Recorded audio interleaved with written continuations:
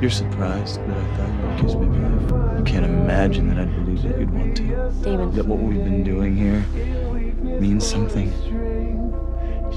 You're the liar, Elena. There is something going on between the two of us, and you know it. And you're lying to me. And you're lying to Stefan, and most of all, you're lying to yourself. I can prove it.